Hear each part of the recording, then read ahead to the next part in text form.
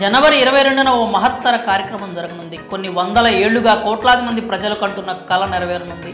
ఆ బృహత్తర కార్యక్రమం పూర్తయ్యేందుకు ఎంతో మంది సహకారం పోరాటం ఉంది. మరి ఆ గొప్ప వేడుక ఏమిటో అందరికీ అర్థమై ఉంటుంది. అదే అయోధ్యలో శ్రీరాముడి ప్రాణప్రతిష్ఠ కార్యక్రమం. మరో నాలుగు రోజుల్లో ఈ కార్యక్రమం జరగనుంది. అయితే వేడుకను చూసేందుకు లక్షలాది మంది భక్తులు అయోధ్యకు వస్తున్నారు. అయితే ప్రాణప్రతిష్ఠ కార్యక్రమం అనంతరం స్వామివారిని ఎలా దర్శించుకోవాలనే సందేహం చాలా మందిలో ఉంటుంది. మరి అయోధ్య రామయ్య దర్శనానికి ఉన్న విధి విధానాలు ఏమిటో మనం ఇప్పుడు తెలుసుకుందాం. జనవరి ఇరవై రెండవ తేదీన అయోధ్యలో రాములోరు కొలువు తీరుతున్నారు. ఈ వేడుకకు సంబంధించిన సన్నాహాలు జోరుగా సాగుతున్నాయి.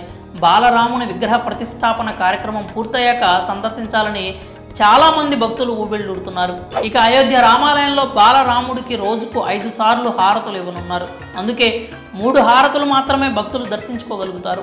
ఇక రామయ్యకు ఇవ్వనున్న హారతులు ఉదయం ఆరున్నర గంటలకు మధ్యాహ్నం పన్నెండు గంటలకు సాయంత్రం ఏడున్నర గంటలకు నిర్వహిస్తారు. ఇక శ్రీరాముని దర్శనం విషయానికి వస్తే ఉదయం ఆరు నుంచి పదకొండున్నర గంటల వరకు తిరిగి మధ్యాహ్నం రెండు గంటల నుంచి రాత్రి ఏడు గంటల వరకు దర్శనం చేసుకోవచ్చు.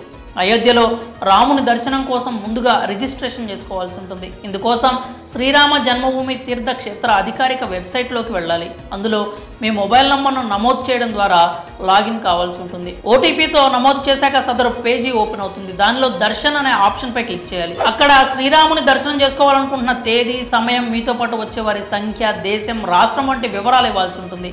అలాగే ఈ వివరాలతో పాటు మొబైల్ నంబర్ ఫోటోను అప్లోడ్ చేయాలి. ఈ ప్రక్రియ పూర్తయ్యాక దర్శనానికి సంబంధించిన బుకింగ్ పూర్తవుతుంది. అదేవిధంగా శ్రీరాముని హారతలను చూడాలనుకుంటే ఇందుకోసం ప్రత్యేకంగా బుక్ చేసుకోవాల్సి ఉంటుంది. అలాగే ఆఫ్లైన్లో టికెట్లు పొందాలనుకుంటే కూడా ఆలయం సమీపంలోని కౌంటర్ వద్దకు వెళ్ళి ప్రభుత్వం ధృవీకరించిన గుర్తింపు కార్డును చూపించి టికెట్ పొందవచ్చు.